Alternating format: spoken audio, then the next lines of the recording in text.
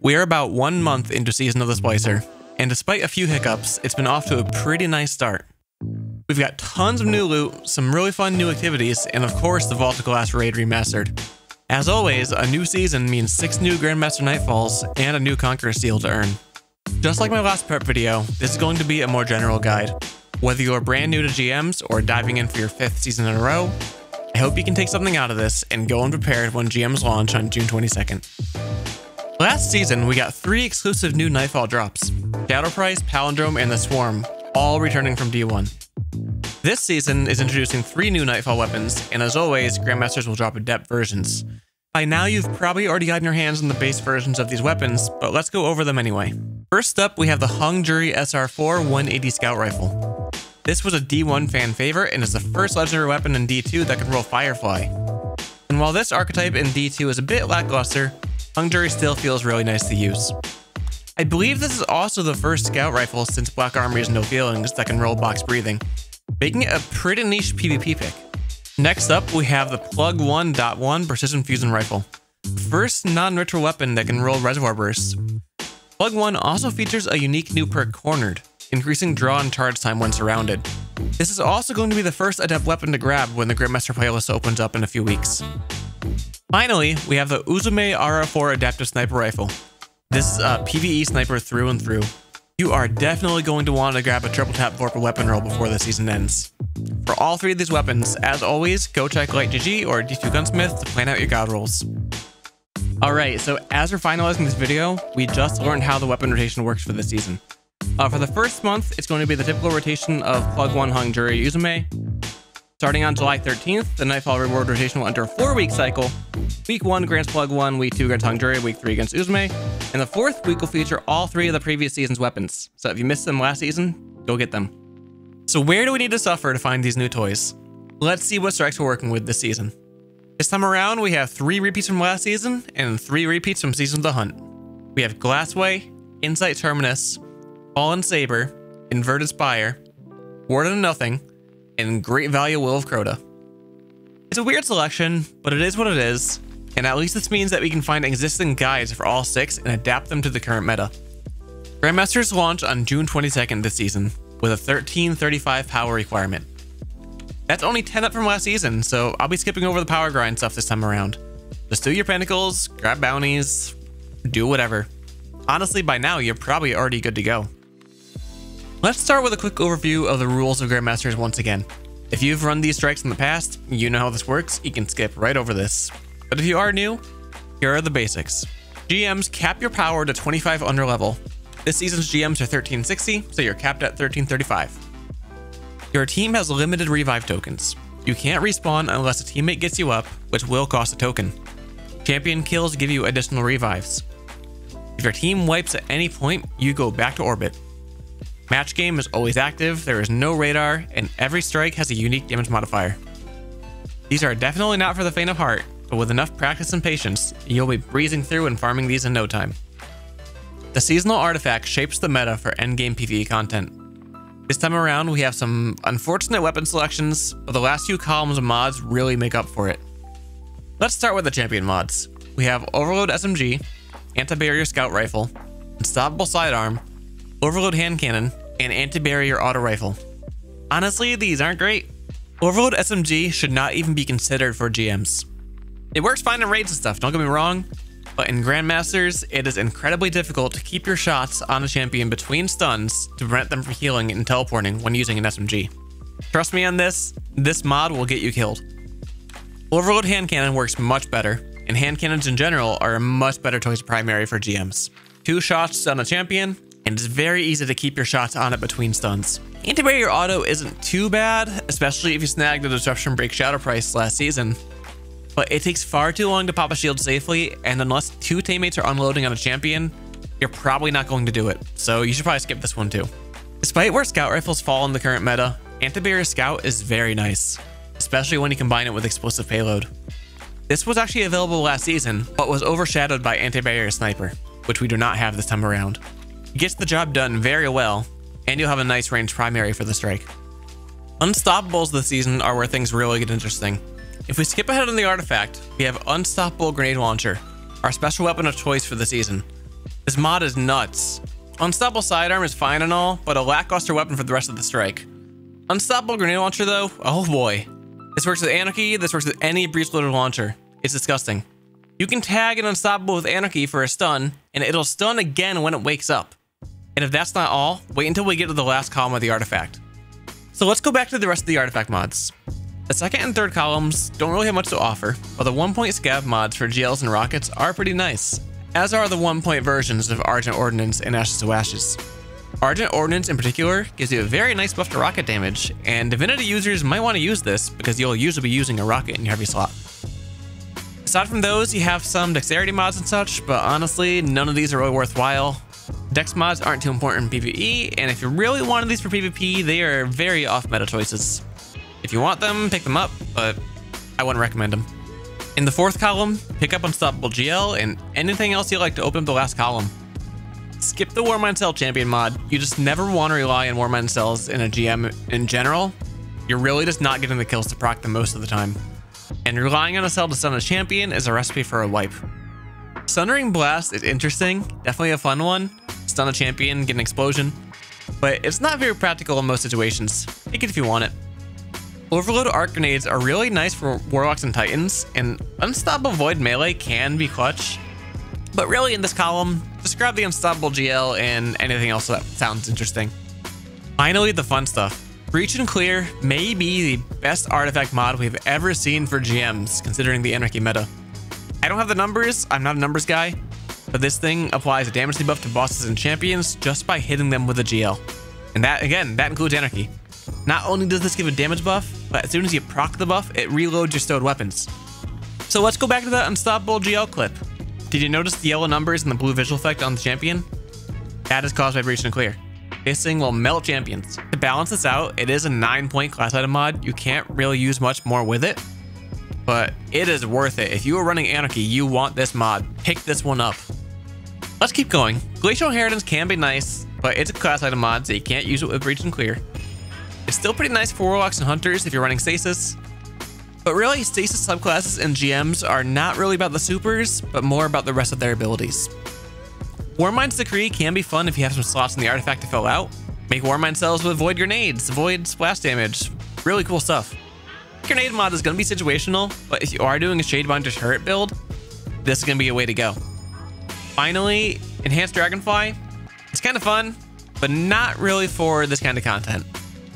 So I'm, I'm kind of realizing now that I skipped over armor in my last season video. But let's not make that mistake this time. For all classes, you want to prioritize recovery and intellect. Anything else really depends on your class and build. Load up your helmet with appropriate ammo finder mods, ashes to assets, whatever you want to use. The Arc Combat mod slot doesn't really have a whole lot of options for GMs. Powerful Friends, maybe for mobility boost on a Hunter, Reactive Pulse for Overshield with Aeons, a Lucent Blade if you're a Psychopath running a sword and a GM, but that's about it. Arms will cover your champion mods. If you're not running a weapon with intrinsic champion abilities, then you always want to run both types of champion mods. Otherwise, slap on fastball, anything else that you like. The Solar Combat mod slot can increase charge the light stacks, do some fun Warmind builds, stuff like that. Here are some interesting options. Void armor is almost always reserved for protective light. Nothing else really here is worthwhile for GMs, but protective light will save your ass. Put this on if you can. Your test piece should have two resist mods. These are one point each and they stack. Slap on at least one concussive dampener mod. The other one will depend on the strike. Throw some ammo scavengers on your boots, fill out your combat slot mod, put on your stat boost, and you're good to go. Your class item is reserved for artifact mods. If you're using a grenade launcher, put on breach and clear. Otherwise, your choice. Bomber on solar, perpetuation on void, good options. A finisher, always a good option. But again, if you're running breach and clear, that's it. With armor out of the way, let's dive into classes and subclasses. The subclass meta last season shaped up interestingly. Banner Shield has always been clutch, but running two Banner Shields and swapping back and forth made for some really easy clears. Chaos Reach and Stasis subclasses surprisingly reigned supreme, and Shadebinder really put in work with those turrets. I even put up a day one video of Devil's Lair on a Chaos Reach Thunder Crash and Shadebinder build, calling it ridiculous, and that became the season's meta. Focusing Lens has been replaced with Breach and Clear, but aside from that, I expect this season's GM meta to play out very much like last season's. As always, Hunters should use Bottom Tree Night Stalker for Smokes and Tether, or Revenant for crowd control. Night Stalkers will want to use the Omnioculus chest piece and focus on keeping your team invisible as much as possible, using smokes to skip difficult areas, get into better positioning, or revive teammates. Tether can shut down groups of ads nicely and do some nice boss DPS. Revenants should run Aeon Swift for finishers for ammo. Bakris can work for solid DPS if you're running Anarchy, but Aeons will be better overall for your team. If you want to get spicy, you can run Bottom Tree Gunslinger with Athrys's Embrace for Unstoppables, but I really would not recommend that for farming runs or for newcomers. Could be fun. One more thing to consider, even post-nerf, Star Eater scales are very good. You can get a lot of super regen, your super will hit harder. Definitely worth considering, although might not be worth running over Omnioculus or Aeons. Warlocks are monsters and Grandmasters. Middle Tree Stormcaller with Geomags and 100 Intellect will have you throwing Chaos Reaches out constantly. Combined with Breach and Clear, you'll be taking out bosses like nothing. Shadebinder with a Bleak Watcher turret can shut down entire rooms. Run it with Verity's Brow, a strong energy weapon, four firepower mods, and taking charge, and you will make short work of every single encounter. This is really nice for the Insight Terminus boss, by the way. Middle Tree Dawnblade with Phoenix Protocol, it's a good safety pick, but Well of Radiance is definitely a bit weaker in GMs than you would think. You can still get killed in a well very easily. The meta for Titans and GMs is Banner Shield with Ursa Furiosa, but they do have some other viable options. Banner Shield is incredibly strong, and combined with Ursa's, you'll be an unblockable wall protecting your team and recharging their supers. Run two Banner Titans, and nothing will get past you. Just make sure your teammates are aware that not every ability can pass through a Banner Shield. Thunder Crash combined with Cuirass of the Falling Star is basically a riskier Chaos Reach. The rest of the kit really isn't too bad, but the super alone can one-shot a stun champion, or really cut into a boss. Just make sure you get back to your team safely.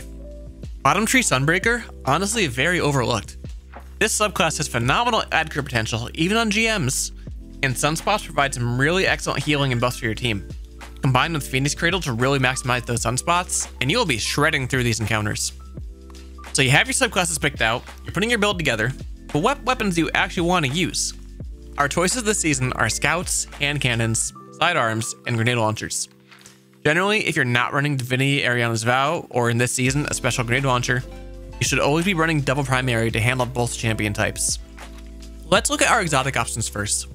Divinity is always nice. Instant overload, consistent stun, and a damage debuff. With overload hand cannons being our only viable option this season, no more overload bow, this will be seeing a lot of use. Pair it with a lasting impression rocket launcher, and you can even do some nutty DPS on your own. Anarchy is always and forever the endgame PvE meta. And with Unstoppable GL and Breach and Clear, this thing just got so much more powerful this season. It speaks for itself. Just remember, to conserve your ammo, you only need two bullets on a target at any given time. Eriana's Vow hits hard and covers barrier champions very easily. Always a great choice, especially if you have the Catalyst. If you don't have Anarchy, using your exotic slot for Izanagi's or Xenophage is a worthwhile option but just remember they do not have any champion properties or mods this season. Similarly, Sleeper Simulant might be worthwhile. Right now, it only has a 3% buff compared to the 15% of other linear fusions. Maybe by GMs, it'll be fixed. If not, I never said anything. Deathbringer just got a new catalyst, and honestly, it's kind of slept on.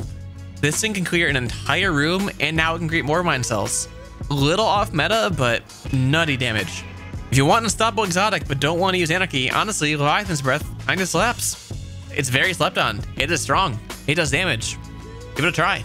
Speaking of unstoppable exotics, Bastion just got a small intrinsic buff to handle them. Maybe worth trying out. Who knows? And yet another unstoppable, the new Stasis Sidearm. Honestly, this thing doesn't feel that great to me, but I mean, it does freeze targets. It does have unstoppable with mod. It could be nice. Honestly, it could be nice. Anti-Barrier Scout works very well with Polaris Lance and Dead Man's Tale. If you want to use your exotic slot for either of the two, could be worth a shot if you're feeling confident. And finally, if you really want to use Overload SMG, Risk Runner has actually been successful for a lot of folks on Fallen Saber in particular. This is honestly the only SMG that can effectively use this mod in endgame content, but it works for you, there you go. Legendary weapons, I'm going to be going through some of my favorites just like last time and throwing some ideas out there. The key things for any legendary weapons are consistent damage, fast reload, and range. Scout rifles are going to see a lot more use this season than last, and the list has not changed much from my last video. Night Watch, the go-to kinetic GM scout. Shaw Han gives you this curated roll during the New Light campaign, so if you haven't done that already, go pick one up. Explosive Payload is one of the best perks in the game for GMs, and Overload pairs very nicely. Another great exotic option, use Hung Jury to get your Adept Hung Jury. Rapid Hit or Surplus combined with Explosive Payload or One for All will make this thing a GM monster. Firefly is fun, but not really an endgame perk. The Curated Transfiguration from Last Wish, also another option, kinda similar to Night Watch. Personally, I steer away from on-kill perks like Outlaw for GMs, you won't, you won't be procking these too much. Guided Sight can roll Rapid Hit, could be nice if nothing better. And just the meme a little bit here, if you happen to have an Adept Scholar from Trials with Warped Weapon, I know, you can slap the Adept Big One spec on here, which actually might make this worth using. For your energy slot, you've got some pretty nice options. Vouchsafe is probably the best Void Scout right now. Rapid Hit Explosive Payload is a nutty combination. I swear by this thing. Alternatively, Royal Chase from Season the Hunt could get the job done, but Vouchsafe has better perks. Eternal Blazon, this is a world drop scout and I believe the only viable arc option right now. The thing and roll Disruption Break, increasing kinetic damage after a shield pop. Fantastic weapon. Vision of Confluence from Vault Glass, a little underwhelming, sure. But honestly, it can roll Deception Break, Surplus, Frenzy. There are a lot of good options. This is probably going to be your go-to solar. Alternatively, you can try the Pleiades Corrector, a reissued Future War Crime Scout. Seems like a nice solar option. I haven't really tried it yet. Entrusty from DSC is fun, but not really suited for endgame content. But if you really need a solar scout, give it a go. My hand cannon recommendations are largely unchanged from last season, though overload instead of unstoppable does mean that you want faster reloads and consistent output in order to keep shots on them when they're not stunned. My go-to kinetic option will always be the 7th Seraph Officer Revolver, with 4 times the charm and time payload. Time payload is very similar to explosive payload, mm, some different numbers, different feel. See, I can make Warmind cells, roll drop mag for faster reloads. Arguably the best PvE 180 in the game. The other nutty kinetic option right now Fatebringer with explosive payload. Firefly or Frenzy in that last slot and you're set. This thing hits like a truck, but it does have a slow reload speed to compensate. True Prophecy is viable, though 120s can be tricky to use for overloads. Can't go wrong with these perks, explosive payload is nuts. The new Crucible 180 Survivor's Epitaph has a massive perk pool, a few nice options. Personally, I would go for Surplus or Rapid Hit and one for all for a PvE roll, but good luck farming it. Moving on to energy weapons, the king is going to be Palindrome from last season. If you snagged an Adept one for all roll, you are set. Put on Adept big ones and you're good to go. Alternatively, I swear by my bottom dollar with explosive payload and surplus. Rapid hit works too. This thing will carry you far. Igneous Hammer, another gun that can roll rapid hit one for all. See where I'm going with this? These perks? Yeah. If you have an adept version, slap that mod on. If not, Major Spec will serve you nicely.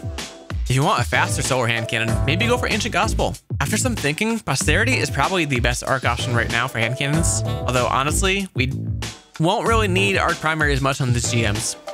Again, go for the same kind of perks. Waking Vigil could work, Finite Impactor could work. You've got some nice options, but Posterity is the go-to.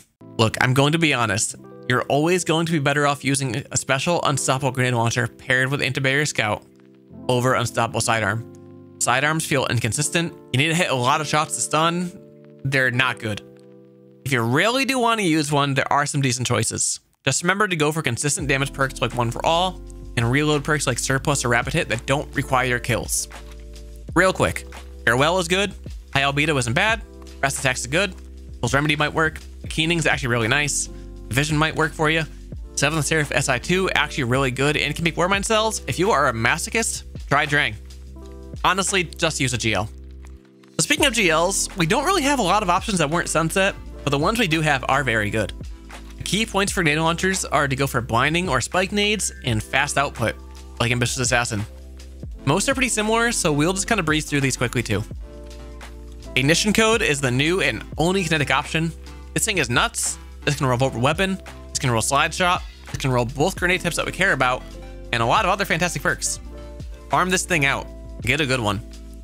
Truth Teller is an unbeatable classic and covers Void Shields.